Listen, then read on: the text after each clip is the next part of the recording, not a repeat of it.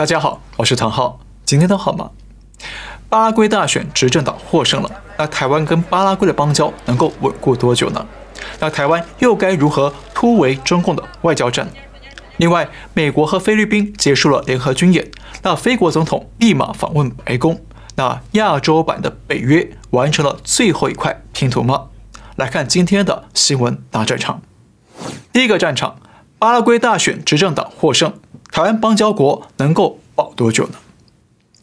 位于南美洲的巴拉圭啊，是中华民国台湾在南美洲的唯一的邦交国。那巴拉圭在四月三十号举行了总统大选。那原本在野党承诺，如果他们胜选，就要跟台湾断交，转而跟中共来建交。不过最后呢，是现任总统佩尼亚以百分之四十二点七的得票率大胜在野党的百分之二十七点五。所以台湾跟巴拉圭的邦交啊，渴望可以继续的维持下去。呃，只是呢，这个邦交关系啊，能够维系多久呢？相信呢，是许多朋友好奇的问题。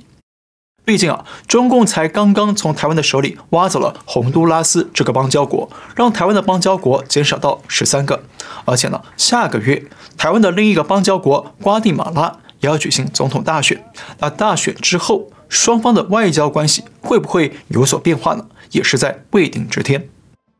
好，中南美洲的选举啊，已经几乎成为台湾跟中共的外交大战。那虽然这次巴拉圭是保住了，但是到底能保多久呢？那台湾在国际外交上的舞台会不会哪天被中共清理呢？那这些问题啊，我想聊聊我的看法。呃，首先呢，这次的选举结果呢，虽然可以暂时的维持台湾跟巴拉圭的友谊，但是中共啊，肯定还是会在幕后继续的上下其手。那我们知道，在国际政治上呢，两个国家要不要建交或者结盟的标准呢，主要有三个考量：经济利益、国家安全和价值观。那巴拉圭呢，在安全上没有立即的外来威胁，而且跟台湾没有共同的地缘政治敌人。另外呢，巴拉圭跟台湾虽然有啊共同的自由民主的价值观。但是巴拉圭啊，过去十年来经济很不好，人民生活品质下降，那政府财政也不好，所以巴拉圭国内更迫切需要的是经济利益和外来投资。还有，呃，中国的经济体量和市场规模，跟台湾相比呢，当然是庞大的很多。所以巴拉圭国内的农业和畜牧业呢，一直都希望能够把大豆和牛肉。输出到中国去卖，同时呢，希望中方能够提供更多的金钱援助和企业投资，来帮助巴拉圭改善经济。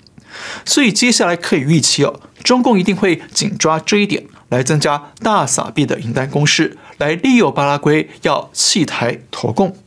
那特别是巴拉圭内部啊，还有比较严重的贪腐问题。那这一点呢，正好让中共可以见缝插针，可以做权钱交易。因此，未来台湾可能得付出更多的经济代价和金钱外交，才能维系住啊巴拉圭的邦交。那这也是为什么有人会说，巴拉圭迟早会跟北京建交，就是因为啊经济和利益的倾斜。不过呢，还有另一种可能性哦，就是美国出手帮助台湾。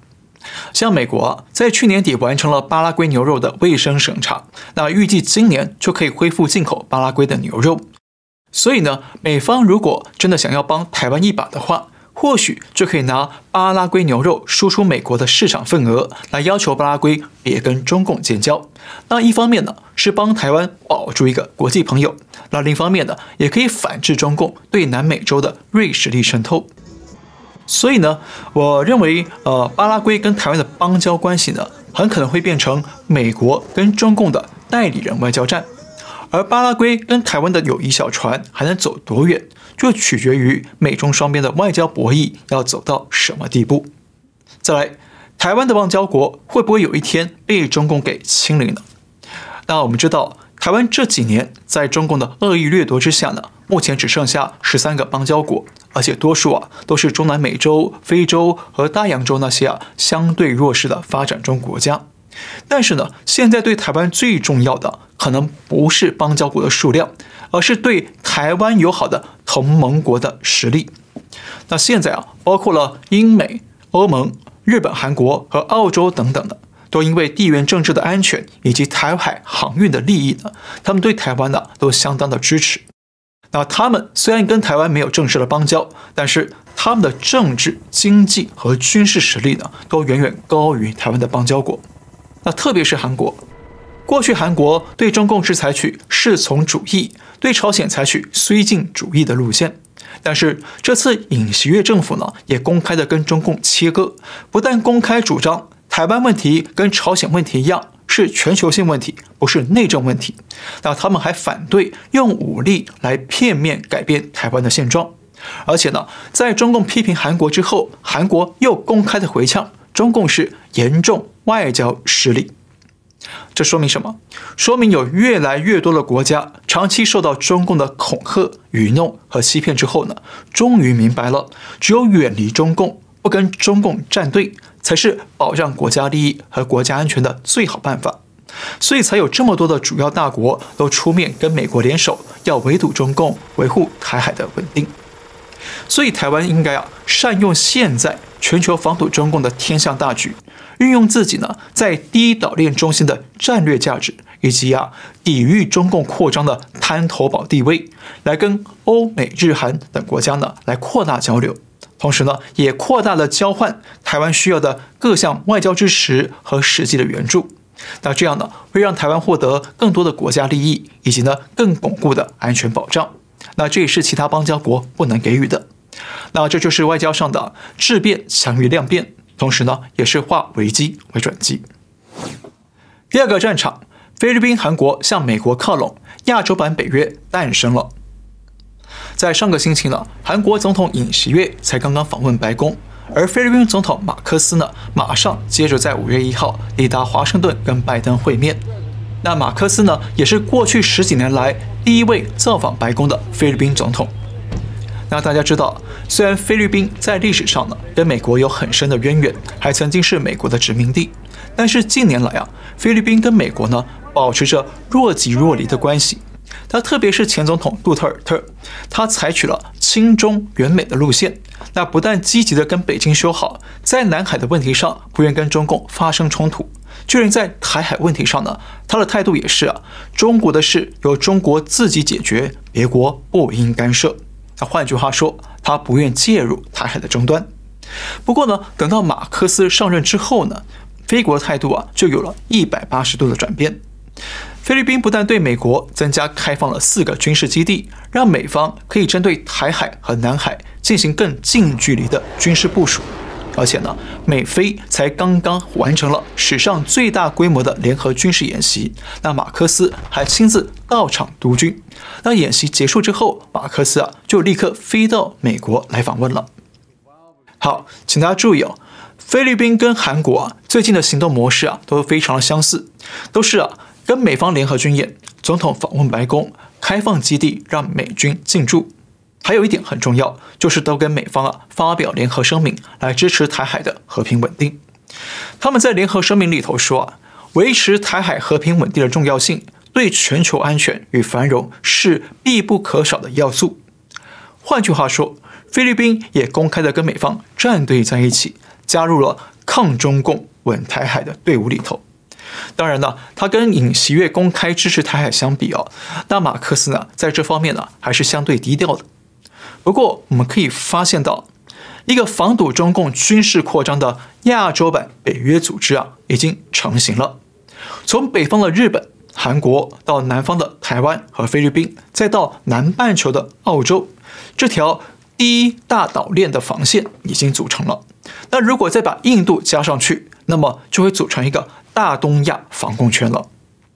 在这样的局面底下呢，我们不能保证中共一定不会发动军事冲突。但是至少他们在冲突之前会更有顾忌、更有疑虑，从而达成了止战与未战、预防战争的贺祖目的。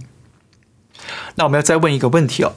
那为什么菲律宾也跟韩国一样，都突然来个大转弯，改成了亲美远中呢？那其实啊，有几个重点的原因。第一呢，台海如果真的开战的话，那么，在台湾工作的十五万名菲律宾公民就会有安全风险，所以马克思决定跟美方结盟，来增强在南海和巴士海峡对中共的军事贺阻，希望遏阻中共动武的企图，来保护台湾的非国人民安全。特别是去年俄罗斯入侵乌克兰之后，让菲律宾认为任何战争都是有可能发生的。那特别是乌克兰有个战场牵制了欧美，那中共就有可能趁乱进犯台海，所以菲国就找上美国来加强备战。第二，维护巴士海峡的安全，捍卫菲国的领土。如果台海开战的话，那中共海军和空军啊，势必会穿越巴士海峡与美方来冲突。那到时候，巴士海峡的菲律宾岛屿就有可能受到威胁，甚至呢还可能被中共占领。所以这次的美菲联合军演呢，还特地在巴士海峡的巴丹岛来操演登陆作战，而且未来就可能在这里啊部署了海马斯多管火箭系统，来打击穿越巴士海峡的中共军舰。第三，中共在南海强势的推进，那菲律宾的主权受到了严重威胁。中共发现菲律宾开始移情别恋，那就派出了外交部长秦刚到菲律宾去访问，想要做危机处理。但是呢，就在隔天，四月二十三号，就有中共的海警船在南海拦截了两艘菲律宾巡逻船，而且还差点发生撞船。那这种恶意挑衅的举措，表明了。中共在南海已经无视菲律宾和其他国家的主权存在，所以菲国呢决定远中亲美，跟中共说拜拜。还有一个原因啊，也很主要，就是中共长期的高傲的姿态和霸凌的行为，已经让菲国政府和人民啊难以忍受了。